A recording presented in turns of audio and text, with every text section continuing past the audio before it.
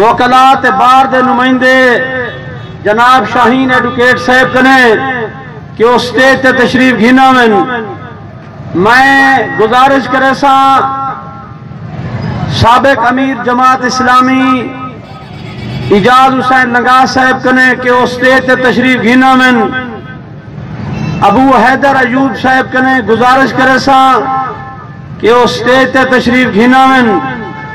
گھراو جماعت اسلامی دے مومن دوست ہیں۔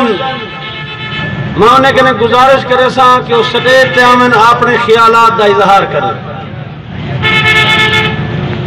بسم اللہ الرحمن الرحیم۔ میں یہ کہنا چاہوں گا کہ ستر سال گزرنے کے باوجود کشمیریوں کو آزادی کیوں نہیں دی گئی؟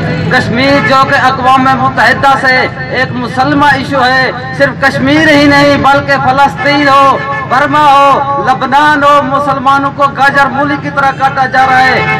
ہمارے مسلمانوں کو نیزے پر لٹکایا جا رہا ہے۔ ہماری تاریخ کو بدنام کیا گیا۔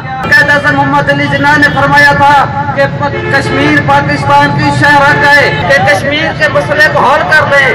اگر یہ حل نہیں ہوتا تو ہندوستان جتنا مرضی ترقی کی باتیں کرے بن سکتا۔ کیونکہ یہ دور معاشی و اقتصادی ترقی کا دور ہے۔ یہ جنگ کسی مسئلے کا حل نہیں۔ میرے بھائیو، ہر دور میں ہر ظلم کے بھی آپ دیکھیں گے اس ملک میں کیسے ظلم ہوگا۔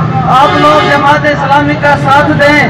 انشاءاللہ جماعت اسلامی اقتدار میں آ کر آپ لوگوں میں جماعت آخر میں جماعت اسلامی کے تمام بھائیوں کا شکریہ ادا کرنا